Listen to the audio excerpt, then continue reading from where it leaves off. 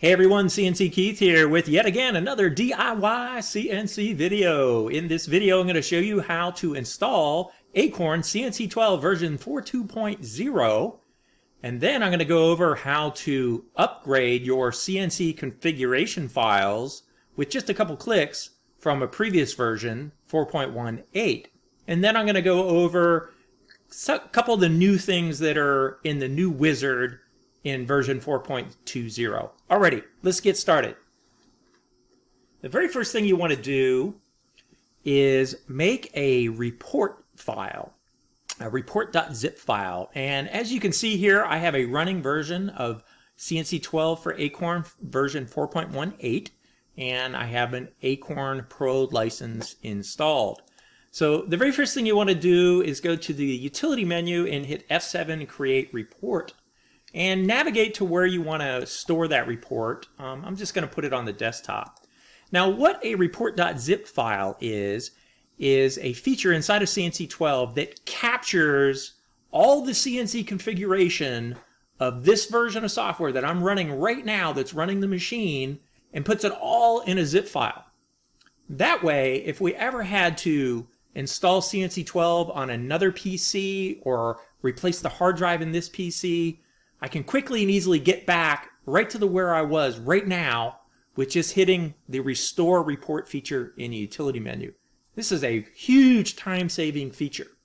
Now the report file can also be used to upgrade that same CNC configuration to a new version of software. And I'll be showing you that here just in a little bit in this video. So now that we've got our report file saved, it's often a good idea to save that in multiple locations. So right now I just saved it to the desktop of this machine. Save it out to a thumb drive or another hard drive that's off of this CNC PC for safekeeping.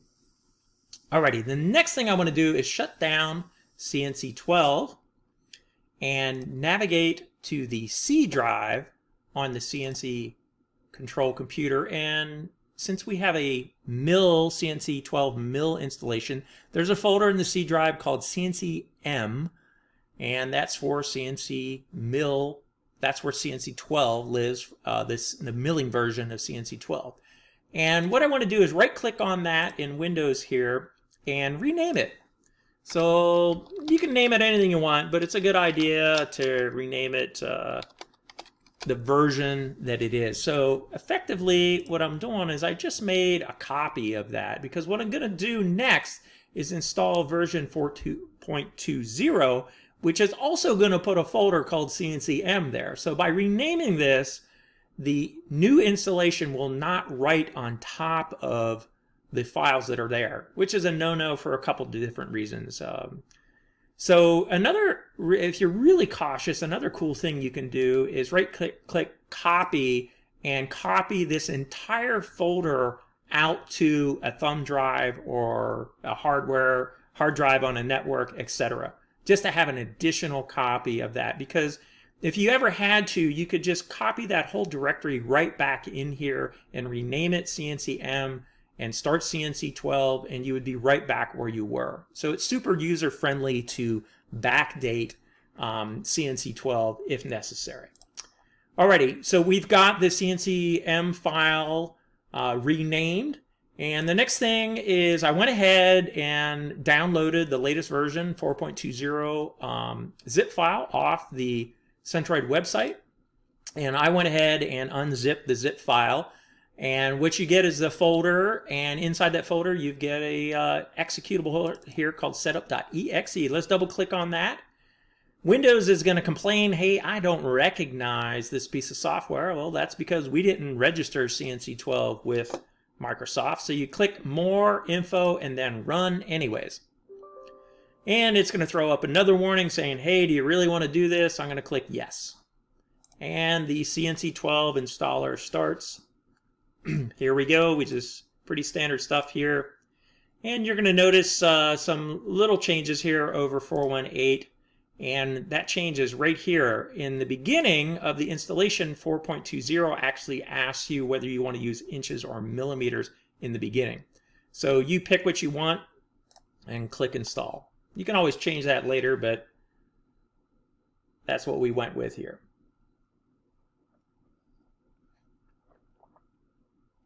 Alrighty, once the uh, installer file is done, you click next and finish and now we get an icon on the screen. When we double click this, we'll start the new version.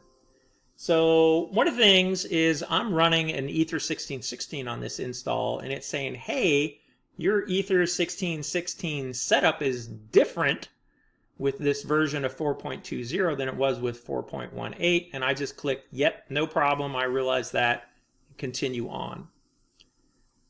Alrighty, 4.20 just started, and the other thing, just like always, uh, when you install a new version of Acorn CNC 12, it automatically upgrades the firmware on the Acorn, and so there's a little message there saying, you know, MPU, updating firmware, do not power off. Absolutely do not power off the Acorn board when that's going on.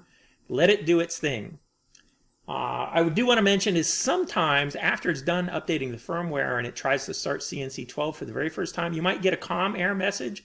And if you do, just close that and restart CNC 12 and it works every time after that. But th in this instance here, I did not get that COM message. Alrighty, when you uh, first install, do a fresh install of CNC 12, it, it loads a default set of configurations. And that's what's running right now and it's giving me this emergency stop detected because it loads the default bench test configuration. Well, I actually have an input connected to uh, uh, input 8, and so it's complaining that my e-stop is detected when it really isn't. So what we want to do is there's two ways to go. I could actually proceed with the update, so I could use that report.zip that we made in the beginning of this video to update all the CNC control configuration in, in just a couple clicks, or you could proceed with what I call a fresh installation. So let's just do the fresh, fresh install first. So I'm going to click Utility and then Acorn Wizard to start the wizard. Alrighty, the wizard starts and the very first thing you want to do is pick Axis Drive Type. So these are a bunch of standard um, axis motor drive types um, that we have developed and sorted out and tested thoroughly. And all these drive types, like it says here in this menu, have corresponding Acorn hookup schematics. So download the schematics if you haven't already and open them up and you'll notice that every single one of these entries has a matching schematic. So if I'm running a G540 in drive only mode, which I am, you click on that, click load drive, and click yes. Now what it does is it automatically configures the inputs and outputs to match the schematic of G540 drive only. And that gets you the base functionality up and running. Um, the rest of these menus are very similar to the old wizard. Um, the homing and travel menu looks a little bit different, and we'll come back to that in a second. Um, and the rest of them look very similar, so I'm not going to go over them in detail. The big changes are in the input and output menus. So before we had a drop-down menu, and now we have a new drag and drop style menu. And we did that to facilitate the ability to add lots of inputs and outputs. So let's say, for instance, and what we've done here on the input type is we categorize them. So rather than putting them all in one big list, we put all the home related inputs in the home screen, etc. the home drop down here. So I really like home all and I always put home all on number one. So how I assign number one input on Acorn to be home all is I simply click and drag what I want out of the list over here. Um, this is pretty cool. If I, I can actually drag around, let's say I wanted it on input three, I just click and drag it to the input that I want home all to be on. If I accidentally click and drag something into the Acorn integrated outputs list that I don't want, then all you got to do is click on it and drag it out of the box anywhere and it snaps back to this menu, which is pretty cool. So I do have, as I mentioned, the Ether 1616 connected up here and running. And I'm going to go ahead and just assign a bunch of limit switches, which is a common use of the Ether 1616. If you like to put individual limit switches in both directions on all axes, uh, the Ether 1616 gives you plenty of inputs to do that on. So whoops, there, I accidentally grabbed limit all, just don't do that. There you go. And if you want to change the input here, um, in the old menu, you would change the input from a normally closed to a normally open. It would be over here, and you would change it from NC to NO. That same functionality is right here. You just click the number, and it changes from green to red, like the legend here is implying that if those home all switches are normally open switches, you want this on red. I always use normally closed, limit, and home switches, so I want it on green. Okay, that's it in a nutshell. The uh, output menu works in a very similar fashion. So um, I always put no fault out on number eight and spin forward and reverse. Here I do my drive reset out on five and for a milling machine I put mist and flood on those two right there.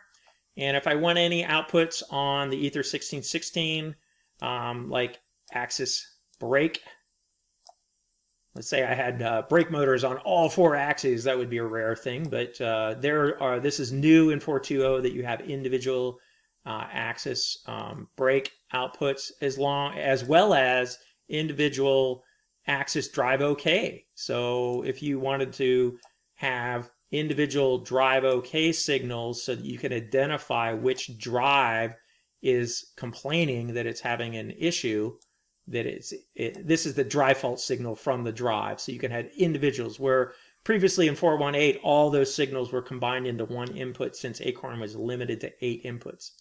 And now, of course, with Ether 1616, you can have up to three Ether 1616s connected to an Acorn. So you can have up to 56 inputs and outputs um, connected to the Ether, uh, connected up to the Acorn. So three Ether 1616s in total. Alrighty, and just like before, once you have uh, the system configured the way you want, you press write settings the CNC control and follow the instructions on the screen. It says, hey, we're going to create a new PLC program and you go OK and it's asking me to reboot. So I'm powering off Acorn and the Ether 1616 at the same time, and I left the um, router, the, the switch, the Ether Ethernet switch powered on, and that just facilitates uh, not having to reboot the switch, which makes quick rebooting is why I'm doing that. Alrighty, once I get a heartbeat, I notice, okay, I got a heartbeat on the Acorn and I click OK. Now it's going to reboot CNC12 with all those changes that I made. And let's test and see if my e-stop works. Okay, my e-stop is working fantastic. And I could push cycle start. And there I have an Axis 3 drive fault. Well, that's doing exactly what it's supposed to, because guess what? I assigned that input to look for that input, but I don't got anything wired to that input. So let's go back and change that real quick and get rid of those. And I'll show you that.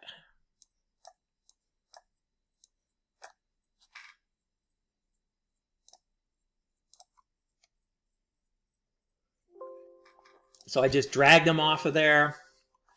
And now I'm going to reboot one more time. Turn power cycling Acorn and Ether 1616. Now I'm waiting for a heartbeat.